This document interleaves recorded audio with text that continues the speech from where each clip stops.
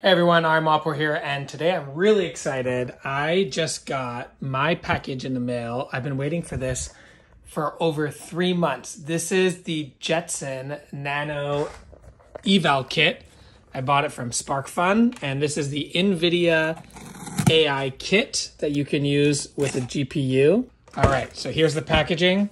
Jetson Orin Nano development kit.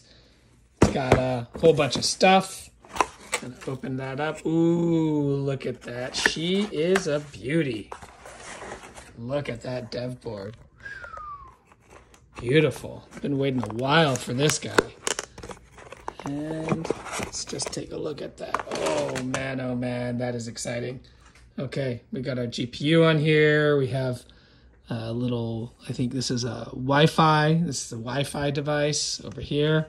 Got all these peripherals. Look at all these peripherals the fan obviously on top of the silicon. This is the um, this is the module, the system on a module. Over here you can take this off if you want. Let's see what else it comes with.